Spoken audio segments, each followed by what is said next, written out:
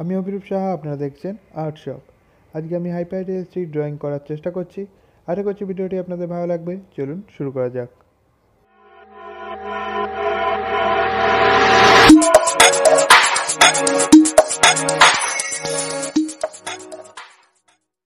সবার প্রথমে সবচেয়ে ডার্ক এরিয়াগুলোকে আমি চারকোল পেন্সিলের সাহায্যে ড্র করে নেব।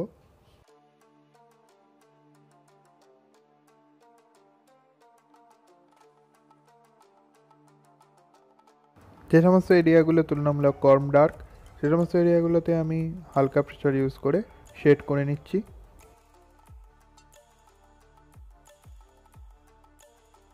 আপনারা নিশ্চয়ই জানেন যে চারকোল পেন্সিল তিন রকমের হয় সফট হার্ড আর মিডিয়াম আমি এখানে ক্যামেলিনেট সফট চারকোল পেন্সিলটা ইউজ করেছি।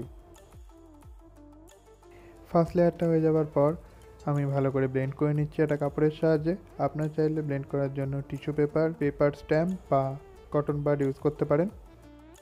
যে সমস্ত এরিয়াগুলো বেশি ডার্ক সেগুলোকে আমি আবার চারকোল পেন্সিলের সাহায্যে ডার্ক করে দেবো। এভাবেই পুরোটা আমি করে নেব। যে সমস্ত এরিয়াগুলো হালকা, সে সমস্ত এরিয়াগুলোতে আমি চারকোল পেন্সিলের বদলে গ্রাফাইট পেন্সিল ইউজ করেছি শেড করার জন্য। এখানে আমি আর্ট লাইনে গ্রাফাইট পেন্সিল ইউজ করেছি। এবং হালকা হালকা করে প্রথমে শেড দিয়েছি, একটা করে লেয়ারে কমপ্লিট করেছি, তারপর সেটাকে ব্লেন্ড করেছি এবং আবার তারপর সেকেন্ড লেয়ার দিয়েছি। এভাবেই আমি পুরো টুপিটাকে কমপ্লিট করে নিয়েছি। ব্যাকগ্রাউন্ডের এই ডার্ক এরিয়াটাকে আমি চারকোল সফট পেন্সিলের সাহায্যে আগে শেড করে নেব।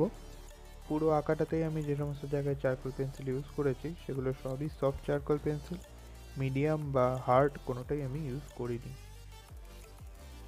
যে সমস্ত অঞ্চলগুলো রেফারেন্সে খুব ডার্ক আছে, সেখানেই আমি চারকোল পেন্সিল ইউজ করব। এছাড়া আমি বেশিরভাগ জায়গায় গ্রাফাইট পেন্সিলেরই ইউজ করেছি। যেমন এইট বি ফোর বি এগুলোকেই আমি বেশি ইউজ করেছি।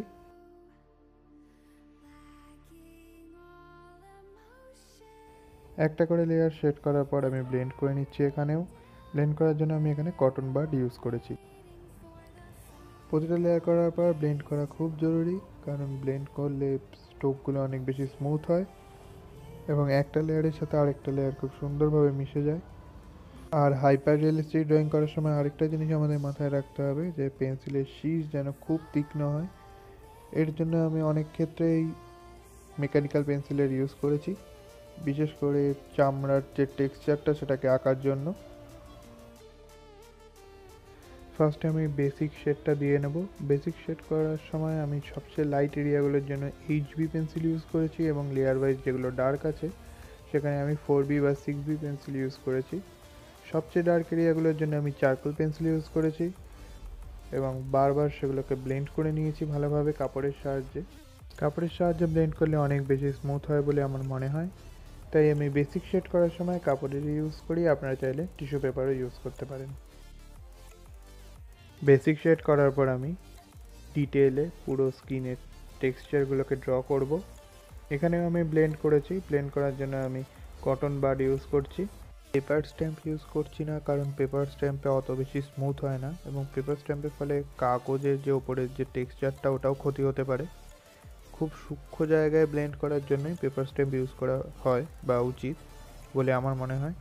তাই আমি এখানেও পেপার স্ট্যাম্প ইউজ করিনি ব্লেন্ড করার জন্য।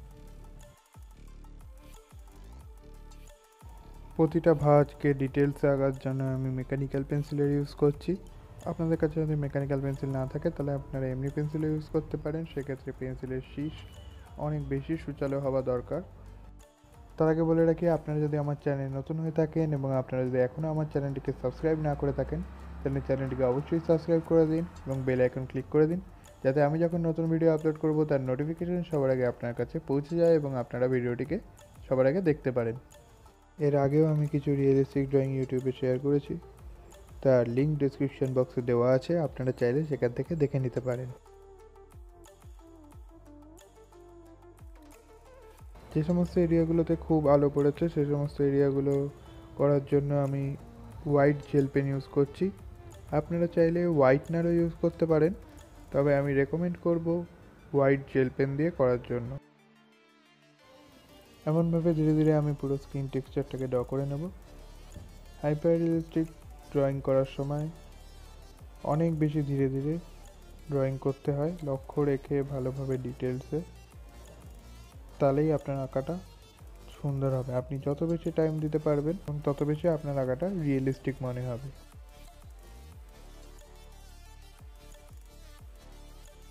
ভাবে প্রতিটা স্কিনের যে লাইন সেগুলোকে ডিটেলসে ড্র করব আমি। এবং এরমভাবে পুরো স্কিনের যে স্ট্রাকচারটা ধীরে ধীরে স্টেপ বাই স্টেপ কমপ্লিট করব। এরমভাবে ডিটেলসে ড্র করার সময় আরেকটা জিনিস লক্ষ্য রাখতে হবে, যে থ্রি ডি ব্যাপারটা যেন হারিয়ে না যায়, যে থ্রি ডাইমেনশনাল যে স্ট্রাকচারটা সেটা যেন ভালো করে বোঝা যায়। প্রত্যেকটা ভাজের ক্ষেত্রে যেন সেই জিনিসটা বোঝা যায়, সেটা লক্ষ্য রাখতে হবে।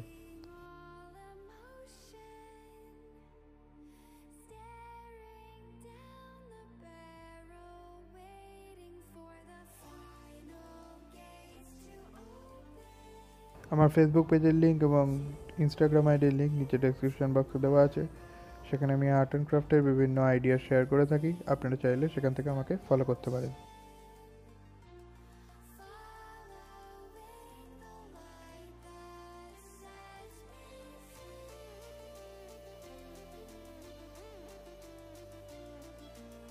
এখানে আমি চারকোল পাউডার এবং কটন বাডের সাহায্যে বেসিক শেডটাকে দিয়ে নিচ্ছি। মেনলি আমি একটা বেসিক শেপ দেওয়ার চেষ্টা করছি। এরপর আমি ধীরে ধীরে রেফারেন্স অনুযায়ী স্ক্রিন টেক্সচারটাকে ড্র করব। যে সমস্ত এরিয়াগুলো বেশি উজ্জ্বল, সে সমস্ত এরিয়াগুলোতে আমি হোয়াইট জেল পেনের সাহায্যে হাইলাইট করে দিচ্ছি। আপনাদের একটা কথা জানিয়ে রাখি যে, আমি এমনভাবে ড্রয়িংটা করছি বলে আপনাদেরও যে এমনভাবেই করতে হবে বা এমনভাবেই যে করতে হয়, এমন কোনো কথা নেই। আমিও হাইপার রিয়েলিস্টিক ড্রয়িং ফার্স্টবার ট্রাই করছি। আমি যেমনভাবে করেছি, সেই জিনিসগুলোই আপনাদের সামনে তুলে ধরার চেষ্টা করেছি। এবং কোন কোন জিনিস ইউজ করলে আপনাদের সুবিধা হতে পারে, সেই সমস্ত এক্সপিরিয়েন্সগুলো আমি আপনাদের সামনে শেয়ার করছি। আপনাদের ড্রয়িং করতে যদি কোনো রকম অসুবিধা হয়, তাহলে অবশ্যই সেটা আমাকে কমেন্ট বক্সে জানান। আমি চেষ্টা করব সেগুলোকে সলভ করে দেওয়ার। এবং আপনারা যদি কোনো রকম সাজেশনও দিতে চান, তাহলে সেটাও অবশ্যই কমেন্ট বক্সে জানান। আপনাদের সবার সাজেশন এই চ্যানেলটা ইমপ্রুভ করার জন্য অনেক বেশি জরুরি। তাই অবশ্যই সাজেশন দিন এবং আমাকে এগিয়ে যেতে সাহায্য করুন। আইবলের সবচেয়ে ডার্ক এরিয়াটাকে আমি চারকোল পেন্সিলের সাহায্যে শেড করেছি এবং তুলনামূলক লাইট এরিয়াটাকে আমি চারকোল পেন্সিলের সাহায্যে করেছি কিন্তু হালকা প্রেশার দিয়ে এবং কটন বার্ডের সাহায্যে ভালো করে ব্লেন্ড করে নিয়েছি। গোল বোঝানোর জন্য যে সমস্ত জায়গায় শেড দরকার সেখানে আমি আবার শেড দিয়ে দিলাম এবং হোয়াইট জেল পেনের সাহায্যে আমি হাইলাইট করে দিলাম যেখানে আলোটা পড়েছে।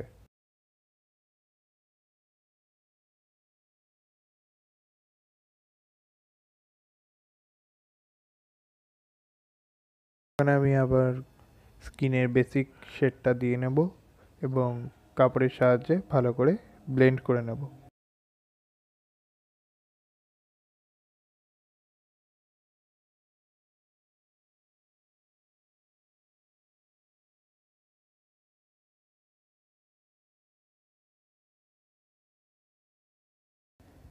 রেফারেন্স অনুযায়ী যে সমস্ত এরিয়াগুলো ডার্ক আছে, সেগুলোকে এখন আমি চারকোল পেন্সিলের সাহায্যে ড্র করে নিচ্ছি। চারকোল পেন্সিলের শীষ যেন তীক্ষ্ণ হয়, সেটা আপনাদের লক্ষ্য রাখতে হবে। এরমভাবে আমি ধীরে ধীরে পুরো টেক্সচারটাকে ডিটেলসে ড্র করে নেব।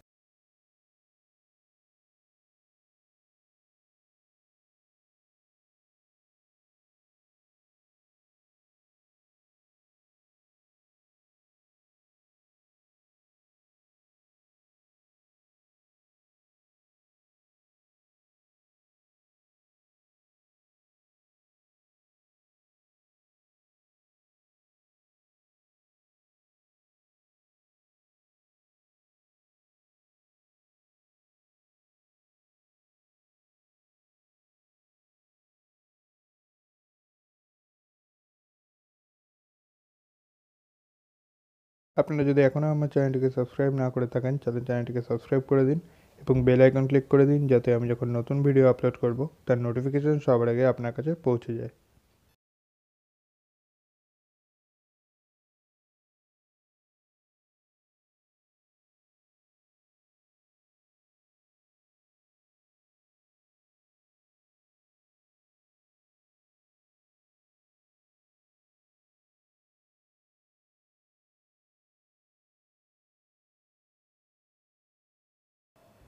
গোফটা ড্র করার সময় আমি প্রথমে চারকোল পেন্সিলের সাহায্যে পুরো কালো করে নিয়েছি।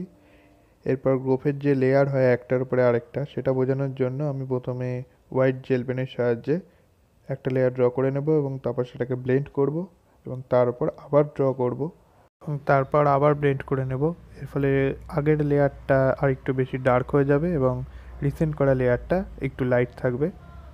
মনে হবে যে রিসেন্ট করা যে গোফগুলো সেগুলো আগের লেয়ারের ওপরে আছে। এমনভাবেই আমি পুরো গোফটাকে করেছি। সবার উপরে যে লেয়ারটা হবে সেটাকে আর ব্লেন্ড করিনি, কারণ সেখানে সবচেয়ে বেশি আলো পড়বে এবং সেটা সবচেয়ে বেশি লাইট হবে। এখন আমি ঠোঁটের যে টেক্সচারটা আছে সেটা ধীরে ধীরে ড্র করে নিচ্ছি।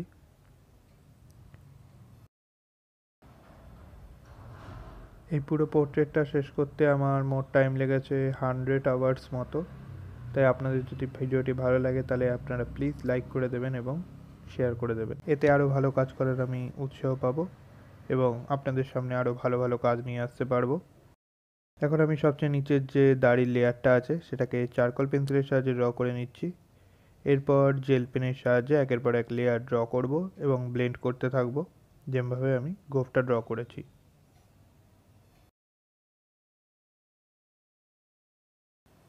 ভিডিওটি শেষ পর্যন্ত দেখার জন্য আপনাদের সবাইকে অনেক অনেক ধন্যবাদ। ভিডিওটি যদি আপনাদের ভালো লেগে থাকে, তাহলে ভিডিওটিকে একটা লাইক করে দেবেন এবং শেয়ার করে দেবেন। দেখা হচ্ছে আপনাদের সঙ্গে পরবর্তী এপিসোডে ততক্ষণের জন্য টাটা।